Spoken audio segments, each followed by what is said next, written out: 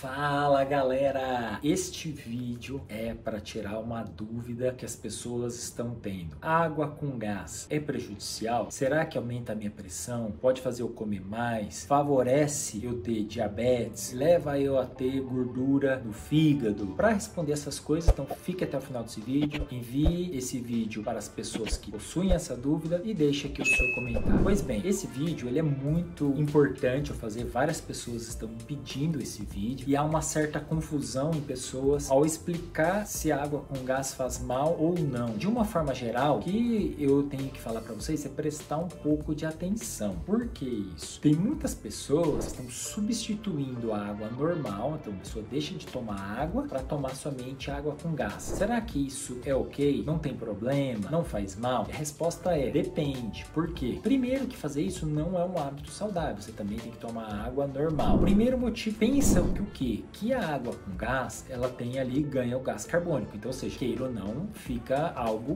industrializado. Então, já não está tomando água extremamente natural. Segundo motivo, a água com gás, a maioria delas que nós compramos, ela é acrescentada um pouquinho neste processo de fabricação, um pouquinho de sódio ela contém comparado com a água convencional. Então, esse segundo motivo vai ser um problema para quem só consome água com gás e, por exemplo, tem pressão alta. E aí pode pode estar associado a longo prazo e altíssima quantidade, quem toma 3, 4, 5 litros de água com gás por dia, pode ser um problema para essa pessoa, porque ela pode, juntamente com isso, aumentar um pouquinho o consumo de sódio, que é aquele ali nutriente que pode elevar, aumentar a sua pressão. Então prestem atenção aí neste item. Terceiro ponto que eu preciso esclarecer para vocês, que as pessoas estão confundindo, é falar assim: ah, a bebida que tem gás é prejudicial. Depende Depende. Por quê? Isso seria um problema para o refrigerante. Aquelas bebidas que são gaseificadas, então ganha ali o gás e principalmente são adoçadas, que aí entre os refrigerantes convencionais, isso sim é um problema, porque acaba que você consome mais caloria junto. Quarto ponto que eu queria falar para vocês. Ah, Gustavo, então baseado nisso, eu posso consumir o refrigerante adoçado com stevia, o refrigerante zero. Não, não, não, meu amiguinho. Por quê? O refrigerante zero, ele é riquíssimo em adoçante adoçante. Alguns adoçantes, já tem vídeo aqui no canal, estão associados com a perda da sensibilidade ao apetite, então, ou seja, pode desregular o seu centro da fome da sociedade, alivia neuropeptídeo Y, é, a GRP, ali nos neurônios do hipotálamo, fazendo com que você a longo prazo perca a sensação de, ops, preciso parar de comer. As preparações, as bebidas, principalmente os refrigerantes zero que tem adoçante, pode ter um pouco, levar cronicamente, né, a longo prazo, você ter um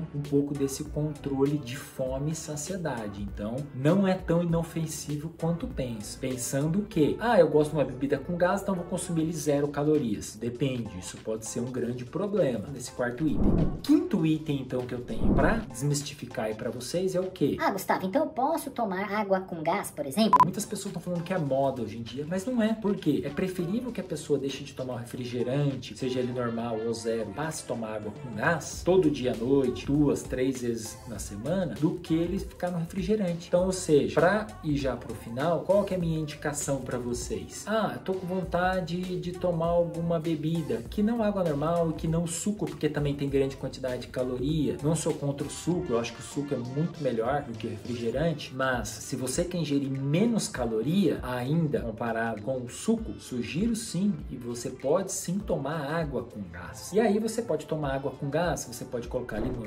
espremido com gelo, você pode colocar com um pouquinho de maracujá, inclusive tomar a semente do maracujá. Agora, a dica que eu tenho também é dica extra. Não use aqueles xaropes de fruta, sabe? Para fazer a soda italiana, ou seja, onde você compra aí os xaropes né, de framboesa, de limão, maçã verde e você coloca junto com água com gás, porque esses xaropes ou ele tem grande quantidade de açúcar ou aqueles que são adoçados com adoçante, ou seja, tem muito componente químico e não é nada saudável saudável a longo prazo. Então, moral da história: a água com gás é prejudicial? A minha resposta é não. Agora, dê preferência às águas que têm menos sódio, comece a ler o rótulo comparando uma com a outra e consuma ela com alguma outra fruta, tipo limão, maracujá espremido, por exemplo, certo? Então, espero que vocês tenham gostado desse vídeo. Envie esse vídeo maior número de pessoas. Vamos ajudar as pessoas que têm dúvidas e um grande abraço.